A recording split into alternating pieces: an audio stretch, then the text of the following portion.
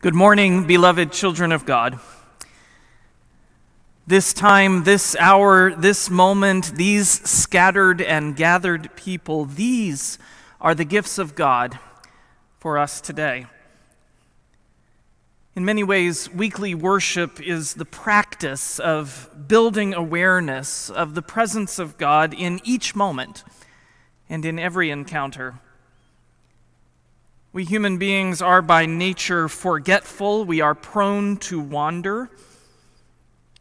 So we find our way to worship, where our senses are tuned and heightened so that we can recognize the goodness of God all week long and in every place.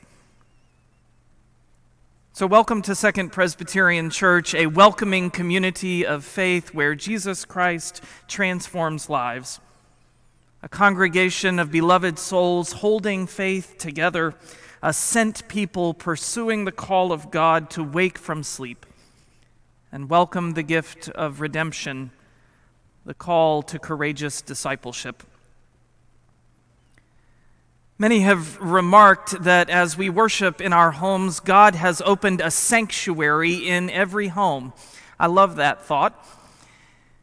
This week, God opened a vacation Bible school classroom in homes all over Indianapolis and indeed around the country as we celebrated a virtual vacation Bible school. In those virtual classrooms, stories were told and songs were sung, crafts were crafted, and snacks were enjoyed. And so we want to pause and give thanks to all those who made virtual vacation Bible school possible this week particularly for those staff members who devoted countless hours to crafting and planning for this change in reality, and to our VBS director, Shannon Cox, a wonderful volunteer and member of our congregation.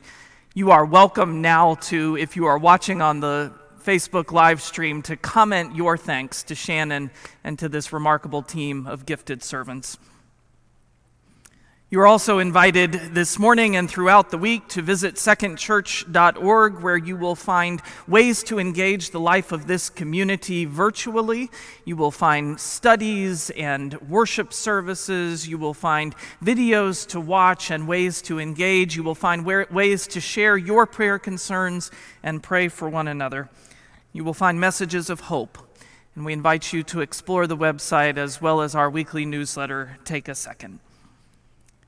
And now, beloved, arise from sleep. Let us prepare to meet our God in worship.